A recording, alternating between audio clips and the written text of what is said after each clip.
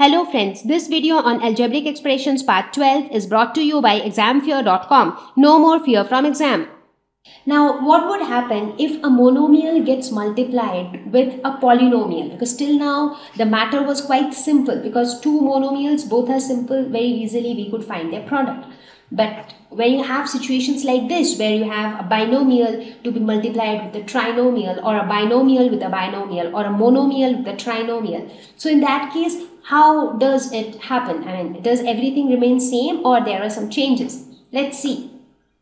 So in this case, we make use of the distributive law of multiplication over addition. So I hope you remember the distributive law. It says that A multiplied by b plus c is equal to a into b plus a into c because a gets multiplied to both b and c separately and then the product gets added. So this is the distributive law. Now you see that how beautifully we will make use of this distributive law whenever we have to multiply a monomial with a polynomial.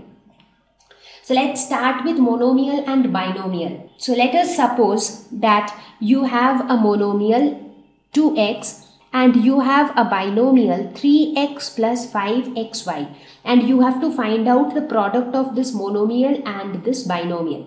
So basically you have to find out 2x multiplied by 3x plus 5xy. So what will you do? So we will make use of the distributive law. So we know that as per the distributive law, A into B plus C is equal to A into B plus a into c. So in this case 2x is just like a, 3x is just like b and 5xy is just like c. So therefore we can write it as a into b that is 2x into 3x plus a into c that is 2x into 5xy. So 2x into 3x these are two monomials. This is just like uh, finding out product of two monomials. First you multiply the coefficients so 2 into 3 is 6 then you multiply the algebraic factors so x into x is x square. Similarly, here also it is like multiplying two monomials. So first coefficients 2 into 5 is 10 and then the algebraic factor. So x into x is x square into y is x square y. So 6x square plus 10x square y would be the product. So it's pretty simple, right? It is just that you apply the distributive law. Once you have applied the distributive law, you will end up multiplying monomials with monomials. Okay, so let's try out monomial multiplied with a trinomial. So let's take an example. Suppose you are given a monomial 3p and you have a trinomial 4p square plus 5p plus 7 and you have to find their product.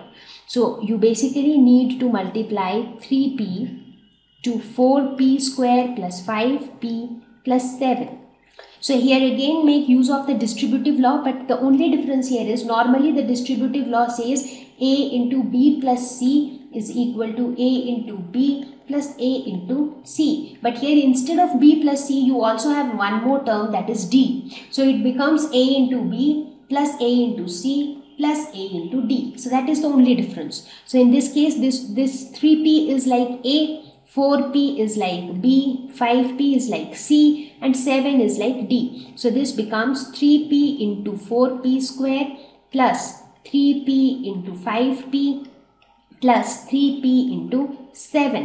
So here 3p into 4p square. So 3 into 4 is 12. p into p square is p cube.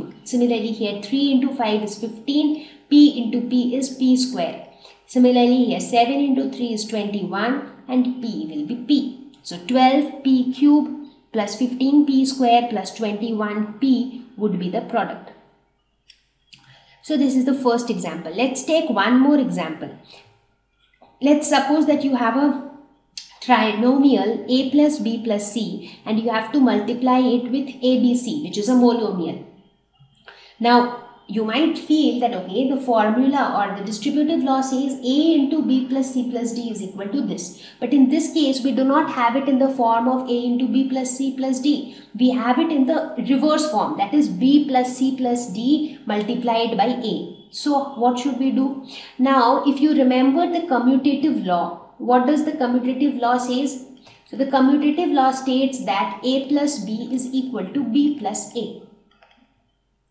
Right. Similarly, the commutative law of multiplication states that A into B is equal to B into A. So we have learned all of these, right? So using this, we can say that A plus B plus C if we consider this entire thing as A and this entire thing as B, then we can say that A into B is equal to B into A.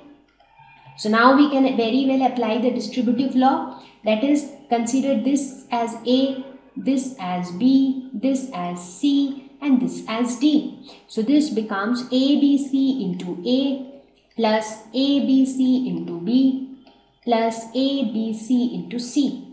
So this becomes a square bc plus a bc b square c plus a b c square. So this is the product. Thank you. Please visit examfear.com for free quality education. You can learn with a simple four-step learning process wherein you can watch video lessons, you can ask your questions, you can refer notes, and you can take a free online test. We have content for class 6 to 12 on physics, chemistry, mathematics, and biology along with practical videos. So please subscribe to our channel for daily updates. Thank you.